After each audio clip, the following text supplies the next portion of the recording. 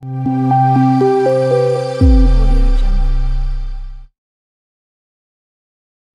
doctors, welcome to EzyMed. So today we are going to briefly talk about brucellosis. So brucellosis is basically, as you know, caused by the bacteria Brucella. Now this bacteria Brucella, this is a gram-negative bacteria. It's a gram-negative bacteria.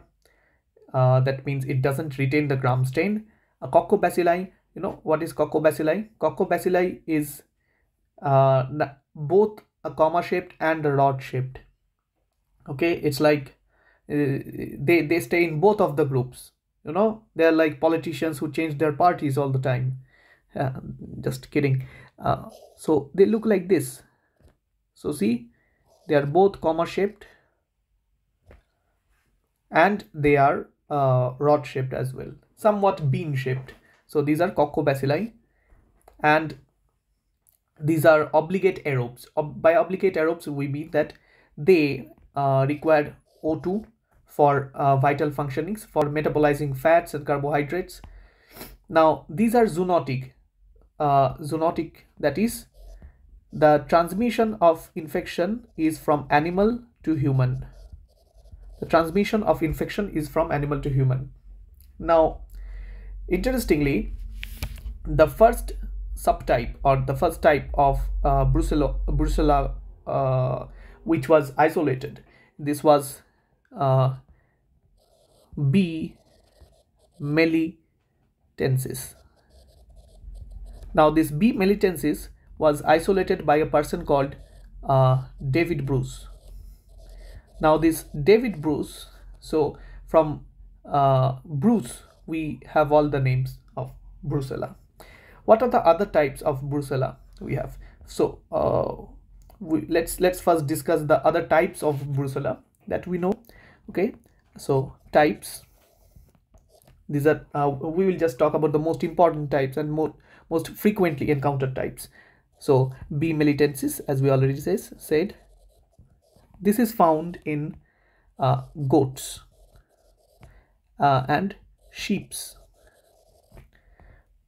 then we have b abortus or brucella abortus this is found in cattle, cattle animals like cows.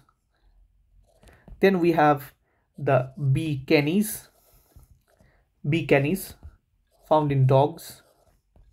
We have uh, B. suis, okay, found in pigs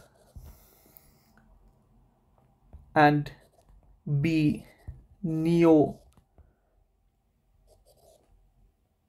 tomai that is found in rats or other rodents.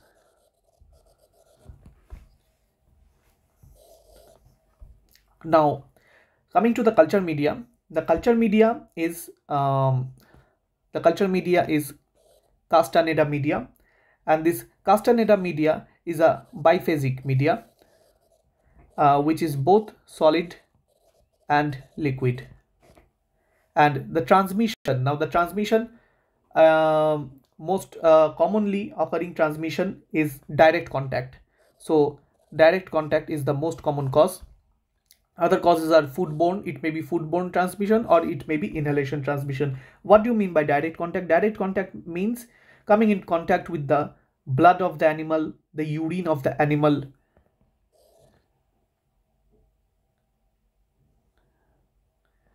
Blood urine of the animal. Or some uh, or maybe maybe vaginal discharge vaginal discharge of the animal. Or placenta even placenta. So this all brings uh these are all the direct contacts it may be foodborne it may be inhalation actually very interesting in some uh, far eastern parts of russia uh, as i know in some far eastern part of Russia, there are some primitive tribes. They actually uh, eat raw, uncooked uh, food meat, uh, meat of uh, cows, beef, or meat of goats. They uh, eat it raw and uncooked uh, to sustain them in freezing cold weather of minus 50, minus 60. And immense number of brucella patients have been recorded there by russian physicians staying at that part of the country. Now coming to pathogenesis the pathogenesis is basically like this. The pathogenesis is basically like this the lymph nodes get affected. The lymph nodes get affected. Then they multiply naturally. Then transmission is through blood. There is they dis, uh, they move around through the bloodstream. Then uh, that is they disseminate around the body. They disseminate around the body. And they mainly affects mainly affects the reticulo endothelial system.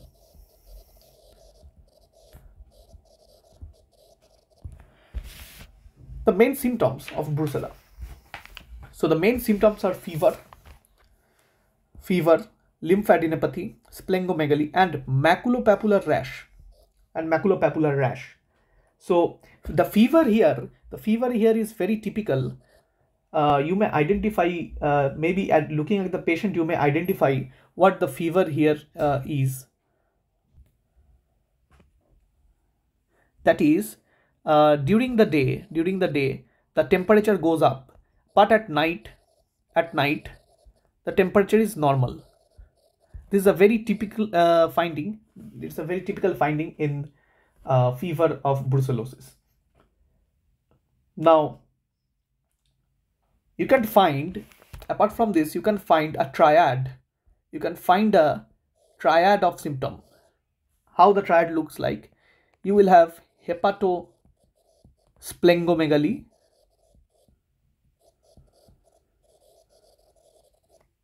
hepatosplenomegaly, there will be arthritis and night sweat. Now, maculopapular rash. This is how the maculopapular rash looks like. Many of the bacterial or viral infections have characteristic rashes. For example, uh, other than brucella just uh, giving an example uh,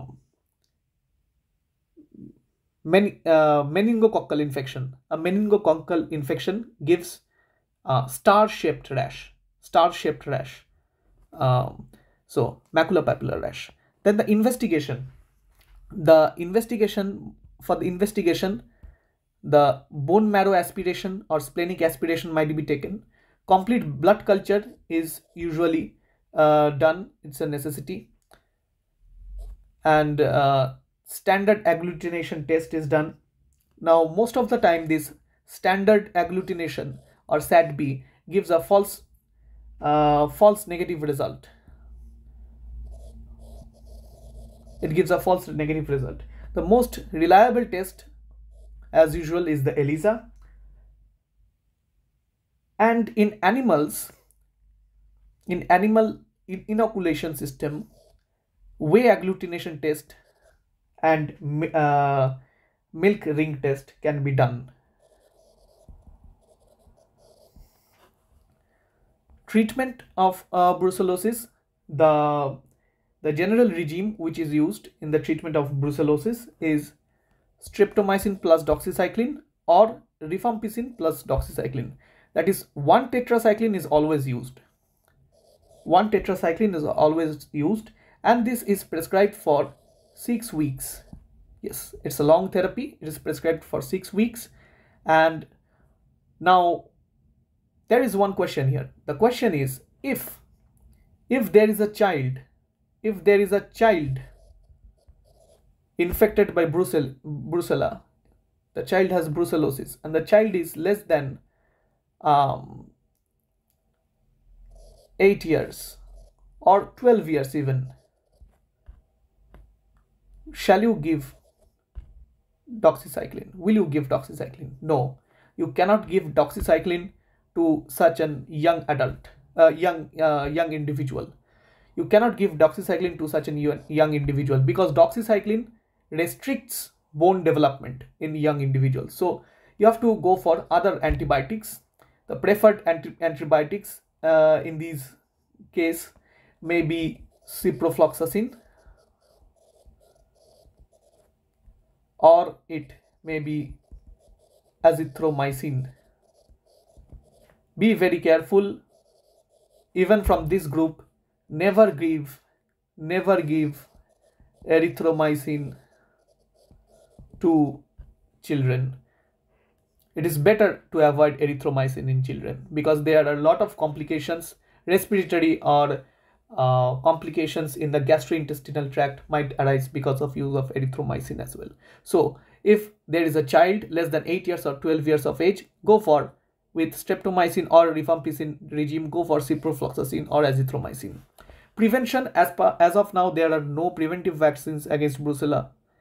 The only vaccines which are uh, given to animals, there are some animal vaccines and this S19 candidate is the most successful most successful among the lot. So thank you dear doctors and medicos who i'm doing this job uh, and sharing my knowledge with you trying to imbibe all the time please do like share and subscribe it amongst your friends. Uh, share it amongst your friends and subscribe to my channel and support it. Thank you